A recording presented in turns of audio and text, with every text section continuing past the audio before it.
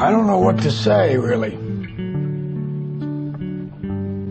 Three minutes to the biggest battle of our professional lives. All comes down to today. Either we heal as a team, or we're going to crumble. Inch by inch, play by play, till we're finished. We're in hell right now, gentlemen.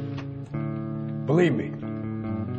And we can stay here, get the shit kicked out of us, or we can fight our way back into the light.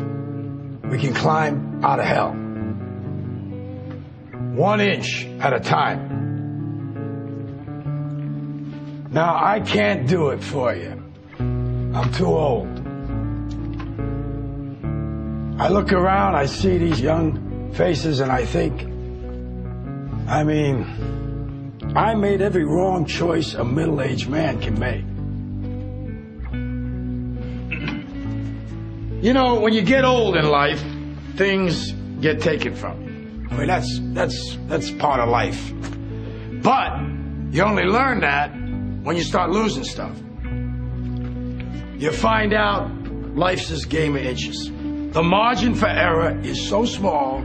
I mean, one half a step too late or too early, and you don't quite make it. One half second too slow, too fast, you don't quite catch it. The inches we need are everywhere around us. They're in every break of the game, every minute, every second. On this team, we fight for that inch.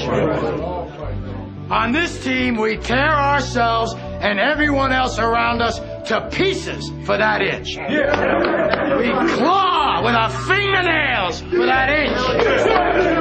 Because we know when we add up all those inches, that's gonna make the fucking difference between winning and losing.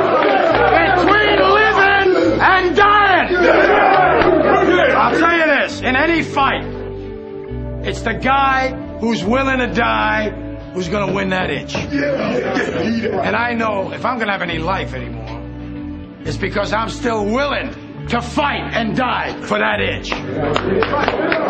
Because that's what living is. The six inches in front of your face. Now I can't make you do it. You gotta look at the guy next to you. Look into his eyes.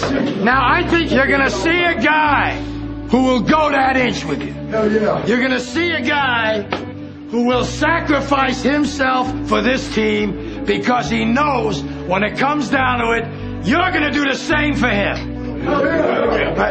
That's a team, gentlemen.